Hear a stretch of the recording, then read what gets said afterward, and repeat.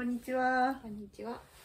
今日はこちら、はいもう10月の30日に作った干し柿さん、はいまだ10個ほどありまして、はい今日は大江戸芸人ではいいただきます。いただきます。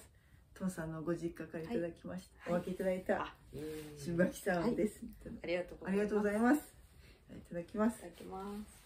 あなんか白いこれはうーん。白い粉が出てきました。